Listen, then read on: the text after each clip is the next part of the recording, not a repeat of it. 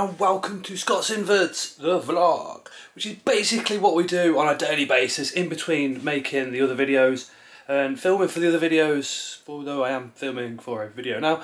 But anyway, just some of the stuff that we get up onto the daily basis. So, let's get on with it. Check this out.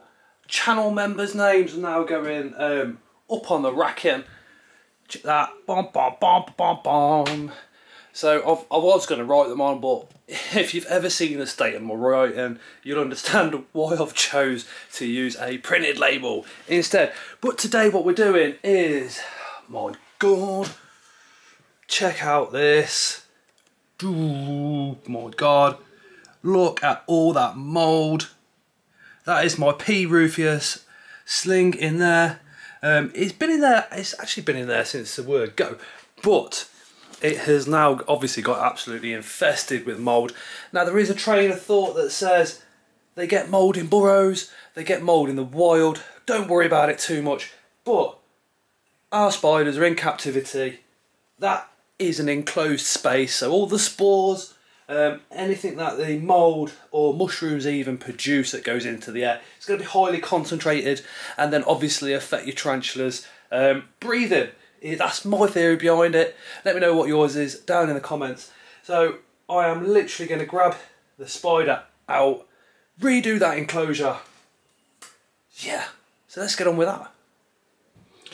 So guys, let's take the lid off.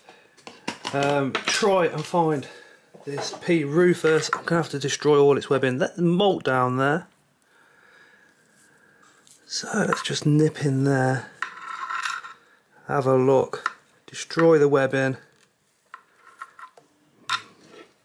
get the tweezers down there, some of that off. Is it in there? No, not in there. Um, I've put this little box around it just in case it decides to do a runner. But I cannot see it for love nor money. There is actually two molts in there.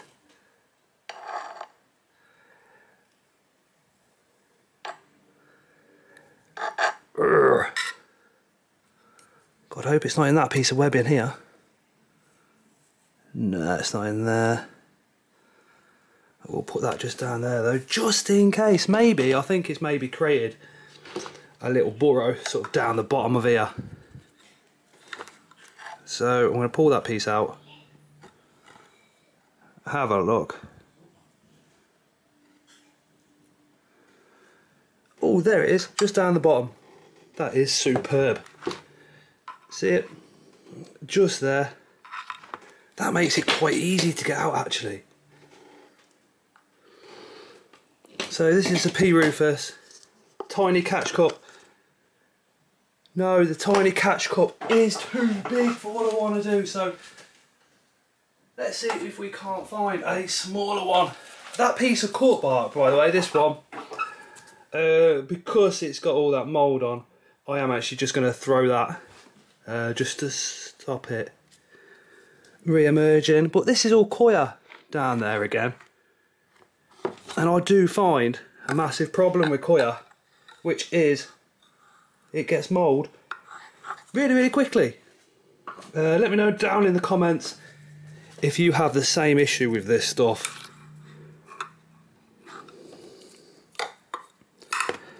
If I move that to the side, New World Spider. Go on, just do what we want you to do. Yeah, you're in. That is fantastic.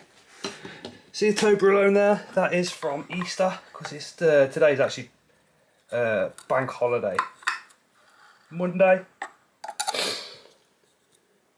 And there is the Rufus.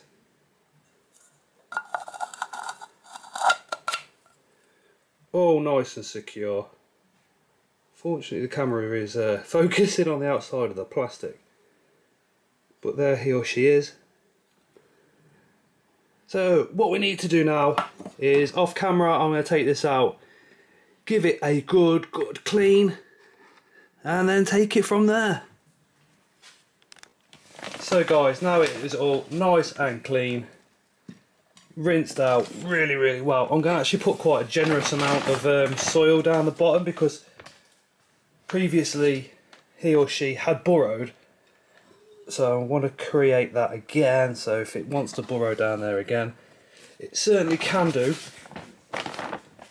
Uh, the soil that I'm using is Levington's uh, seed and cutting compost which all those nasty chemicals, it's got none of those in, no pesticides or anything like that. And if you're in the UK, currently you can get two packs of it for a fiver out of Tesco. There we are, knocking the camera miles out of the way.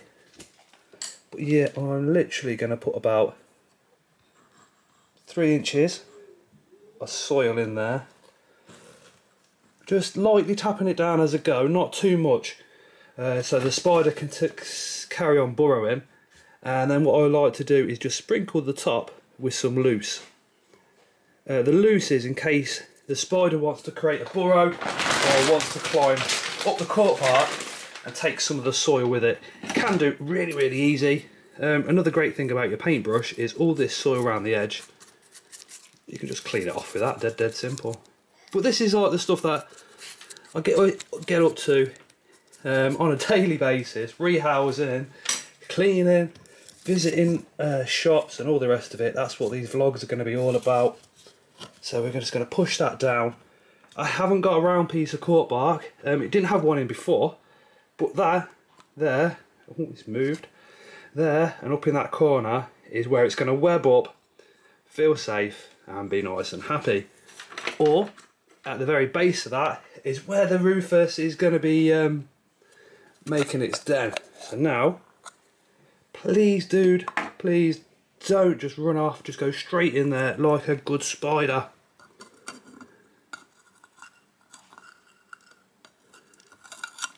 Oh, and it flew in.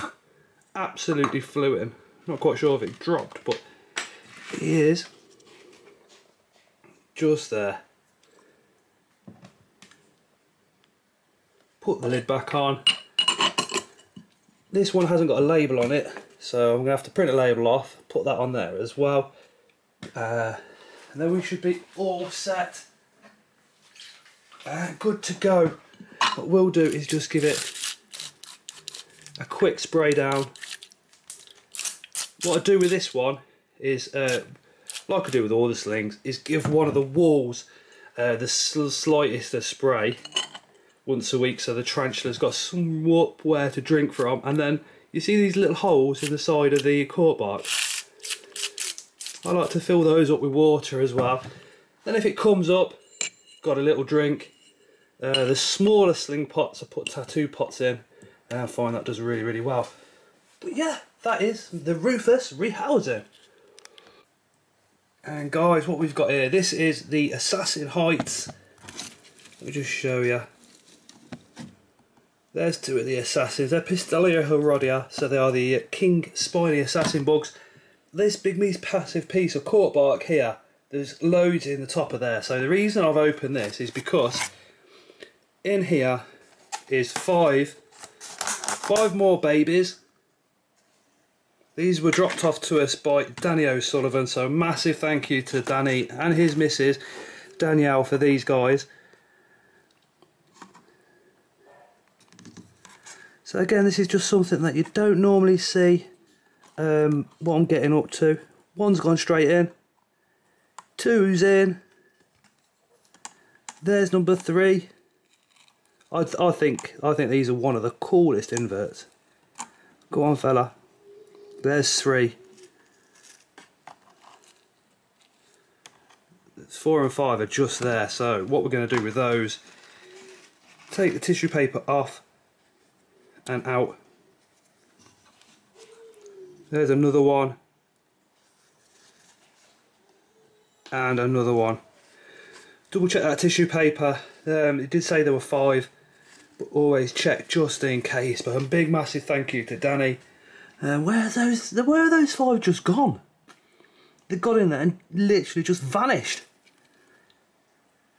Wow. Um, while we've got it open, I'll give it a quick spray down. What this water does is it does help your assassin bugs to think it's breeding season. uh, just keep that floor slightly damp.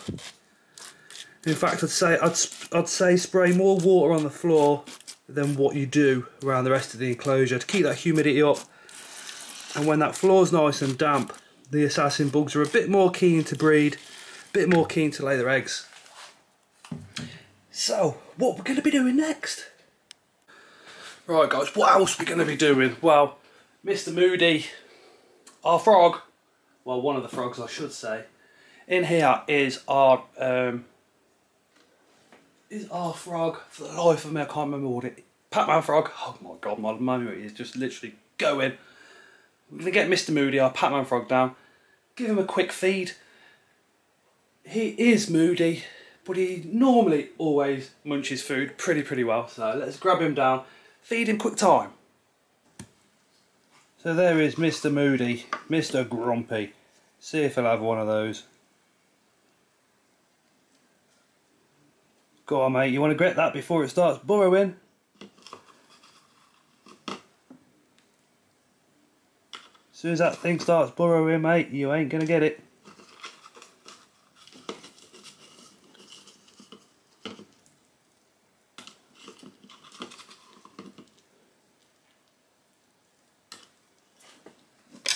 Okay, so we pull it out. Whoa, nearly had me. Okay, so if that's how you want it. Go on, mate. Oh, don't eat my tongs, eat this.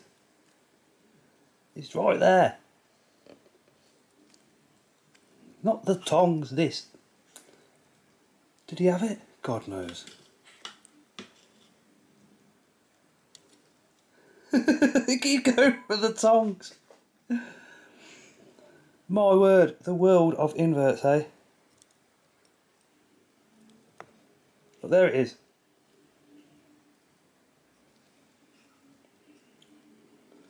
How are you missing it? hey, there you go. My God, you. Today is Tuesday, so we are now preparing for the live as you can see, I made a bit of a mess last night, so I've got to clean all that up. We are in the kitchen, so just behind me over there, Tara is cooking din dins nice and early so we can smash that before the 8pm live. Um, if you've never joined the live before, it's on 8pm on Tuesdays at 8pm UK time. So to find out what we're doing next, let's have a look. Telling him now I'm going to take his. And today is now Wednesday. We did the live last night, which starts at 8 pm every single Tuesday. Um, but yeah, I look like I've had a fight with a pizza. I haven't, I've been at work, literally just come back from work. Um, we've had a couple more channel members, so we're putting those stickers with their names up on the racking. Pride of police. But yeah, that is the end of the this week's vlog. Um, what I'm about to do now is prep and organise the um, Lavender Reptiles giveaway for the UK. Um, so that video is going to be coming out this week. Um, but yeah, um, Noah is now one. It's his first birthday today. Um, it seemed literally yesterday where I made that little video um, of sort of going to the hospital and then the stresses of having a child in lockdown was absolutely a nightmare. tomorrow, Thursday, will be interesting. Um, I'm going for my COVID vaccination and I've heard my arm hurts, I've heard it makes you feel sick, it gives you a headache. If I feel ill and rough, there's probably a likelihood that I won't get the video out this week. Um, so wish me luck for tomorrow. And as always, guys, we shall see you again on the next one. Remember to like this video if you're liking the vlogs. Comment down below if you love me lots and lots. And thank you so much for watching you